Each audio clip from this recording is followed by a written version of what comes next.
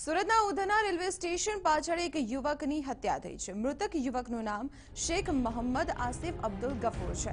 Udhna railway સ્ટેશનની library પાછળ થયેલી યુવાનની હત્યાનું કારણ હજુ જાણવા નથી મળ્યું. પોલીસને ઘટનાની જાણ મળતા જ પોલીસ ઘટના સ્થળે પહોંચી ગઈ છે અને યુવકની હત્યા આખરે કોણે કરી અને હત્યા પાછળના કારણો શું છે તેને લઈને તપાસ શરૂ કરી છે. વિગત મેળવીએ સંવાદદાતા બલદેવ સુથાર પાસેથી. બળદેવ, એક યુવકની હત્યા કરવામાં આવી છે. શું કારણ સામે આવી રહ્યા છે? તપાસ કઈ દિશામાં? જે રીતના સુરતની વાત કરવામાં આવે તો સુરત એક પાટનગર કહેવાતું, ગુજરાતનું પાટનગર છે.